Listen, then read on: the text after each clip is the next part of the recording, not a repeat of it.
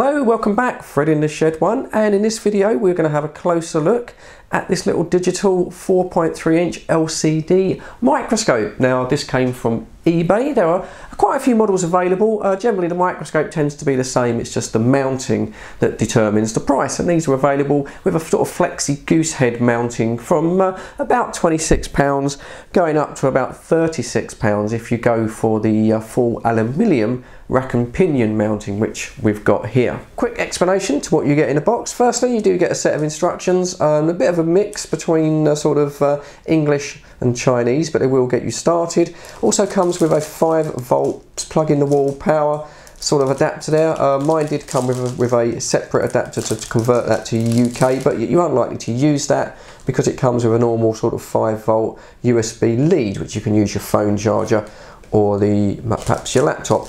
You also get a little Allen key there which helps with the construction of the rack and pinion aluminium mount and then you get the uh, sort of microscope itself. Um, it doesn't come with an SD card but uh, it does have the ability to record video from an SD card.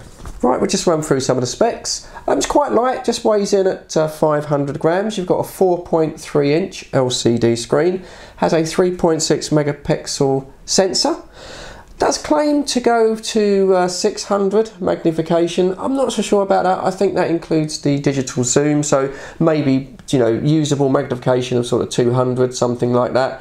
But uh, yeah, no, it is pretty uh, pretty good. It's certainly good enough for sort of hobbies. Comes with eight LED lights here, which go around the lens to give you sort of some illumination. Battery wise, it's got a 3.7 lithium ion battery. Takes uh, about four hours to fully charge and then gives you about six hours use time. Now, as I mentioned, the little microscope does have an SD slot, so you can record video and pictures, and this might be quite useful if you sort of upload onto the internet, if you do a vlog, or you know, YouTube, or sort of Facebook, something like that.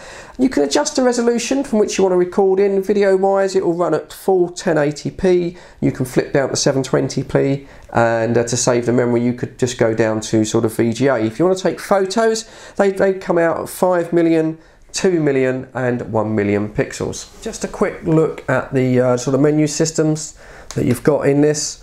Obviously you can change the resolution now going from 1080 all the way down to uh, VGA and then you can sort of put the date and the time. It does have a uh, motion detector which will in instantly record the moment that the sensor picks up kind of motion. I, I, don't know about that, I don't know if that would sort of uh, work all that well.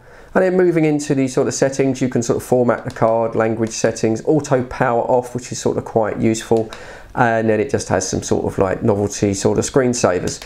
So, you know, pretty basic, but pretty much all that you need As I mentioned earlier, the sort of uh, microscope module itself is pretty much the same. What you're paying for on a slightly more expensive model is this sort of aluminium rack and pinion sort of mounting. And you know, overall, it's it's pretty good actually. It is pure sort of you know aluminium. There's no sort of plastic involved in the mounting itself.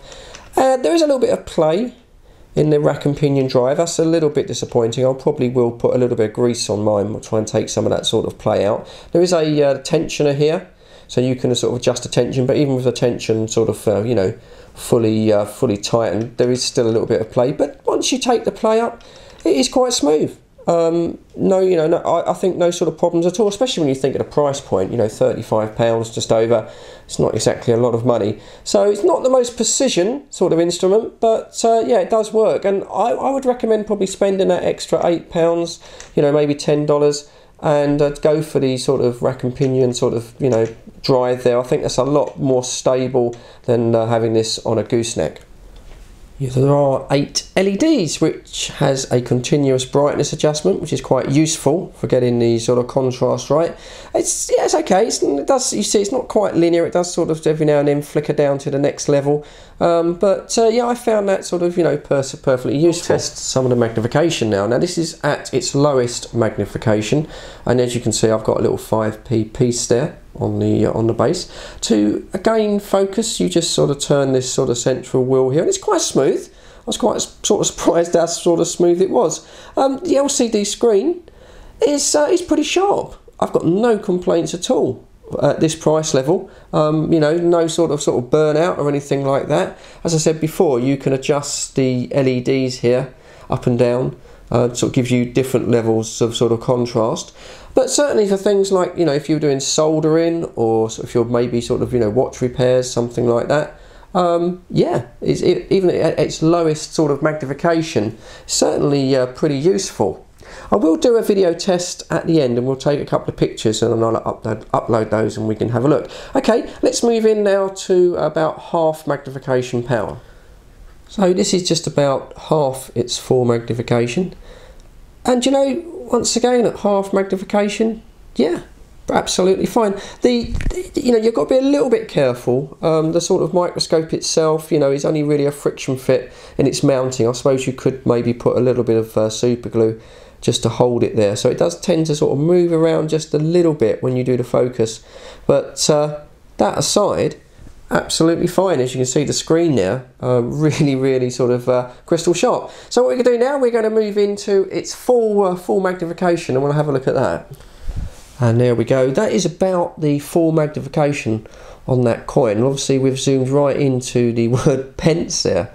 And again, yeah, absolutely, you know, absolutely fine. You can achieve a pretty good uh, sort of focus just using the sort of fine focusing wheel there. And the viewing angle is pretty good as well. You know, you don't have to sit directly in front of it. You can sort of view from the side or from the top.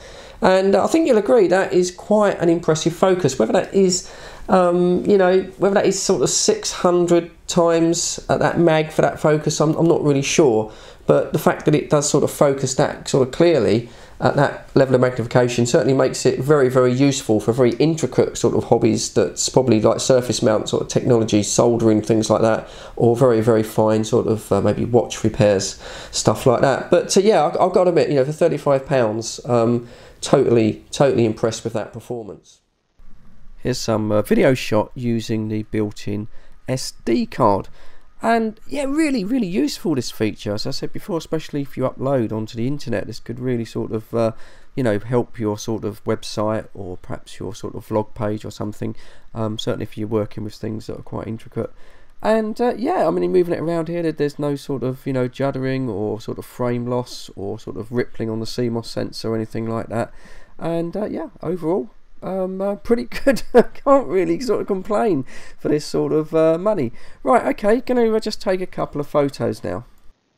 So here's a couple of photos. Claims to be 5 million pixels. Can't really confirm or deny that, but uh, certainly look pretty clear. And as I said, uh, certainly usable if you want to upload these to the internet.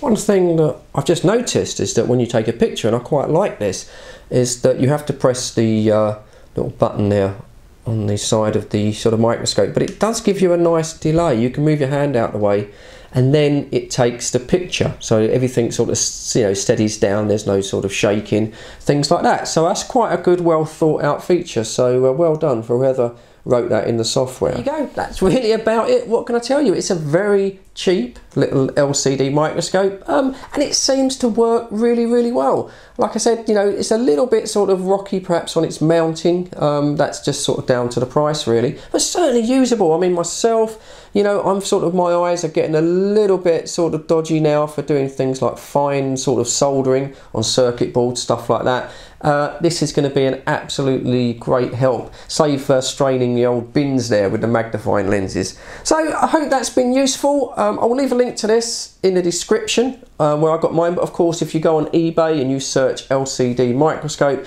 you will get a lot of these sort of uh, come up and you probably get a slightly better deal than uh, I did. But of course, as for now, Cheers, thank you for watching, hit that subscribe button, lots of more stuff like this coming up on Fred in the Shed 1. But as for now, as always, thanks for watching, stay safe, and of course, I'll catch you all on the next one.